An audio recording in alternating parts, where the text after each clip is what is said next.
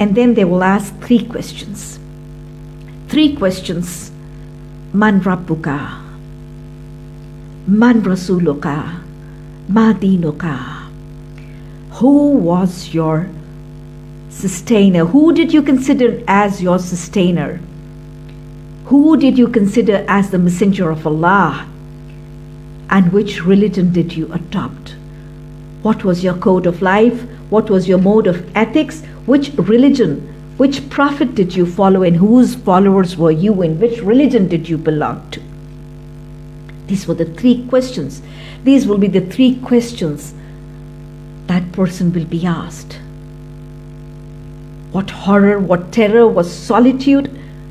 And the three questions, remember, these three questions, the person will answer not just by memorizing the answers to these questions. It's not just possible that we just try to cram up up and we just try to memorize the questions, assuming and expecting that once we remember the questions, we'll be able to answer them right. No. It's only the person. It is only going to be the person who lives, who strives, who struggles in the life according to the commandments of Allah according to the orders of Quran, according to the teachings of the verses of Quran, that a person will be able to answer the question, Man Rabbuka, with the correct answer.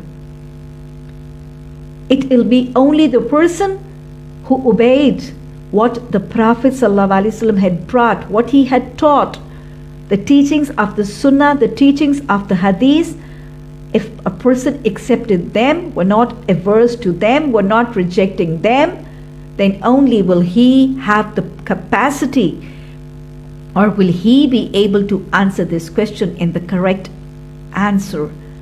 And only and only the person who had made who had made the code of life and the mode of ethics and the teachings of Islam as his lifestyle then he would be only he would be the person to answer the question in the right manner.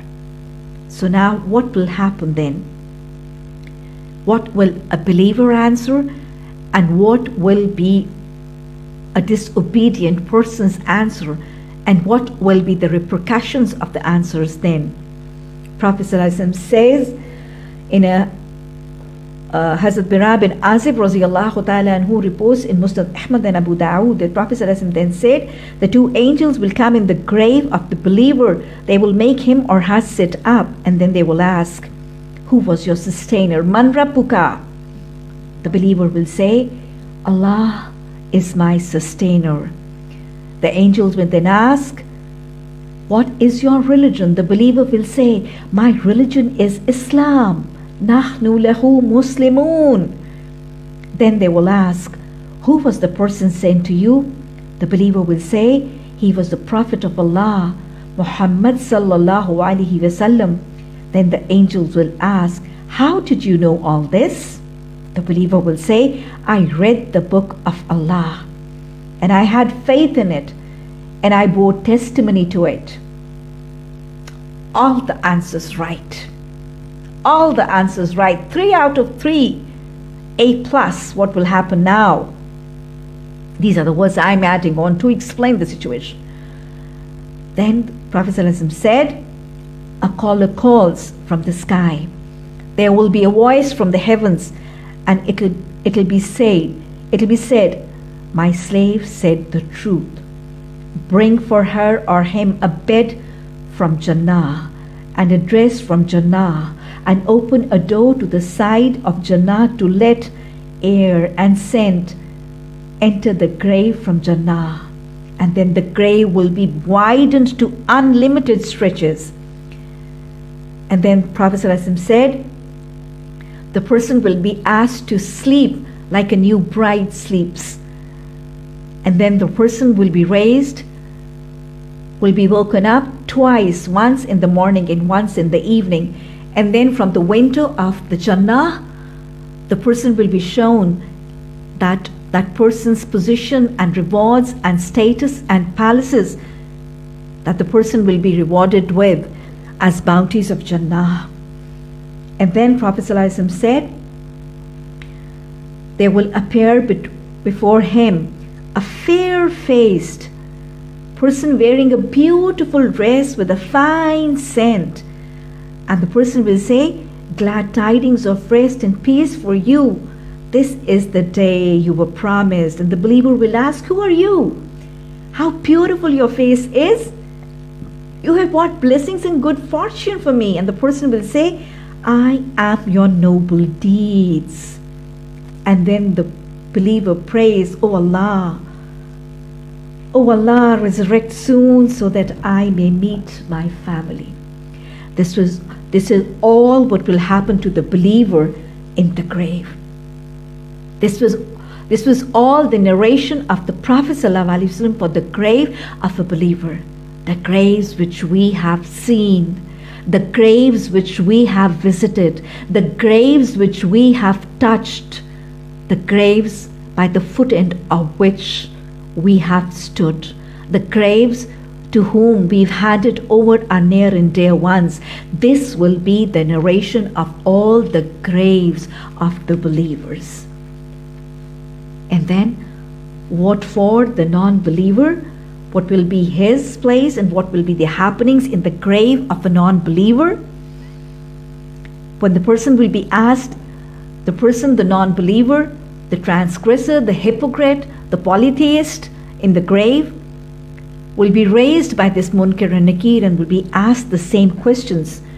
Who was your sustainer? Who do you believe as your sustainer? Man Rabbuka. And the person will say, I do not know. And then the next question, what is your religion and what do you think about the Messenger of Allah? The person will say, when the angel will say, Who is that person, Muhammad? Sallallahu alaihi wasallam he would say, I said, I don't know. I'm not I'm not actually aware of the actual reality. I just said what the people said. So the person will be told, neither neither you understood the Quran nor did you read the Quran. And then the grave and then when the person will obviously, none of the answers will be correct. Then Prophet ﷺ said, then there will be there will be a cry from the heaven and it will be announced and it will be ordered.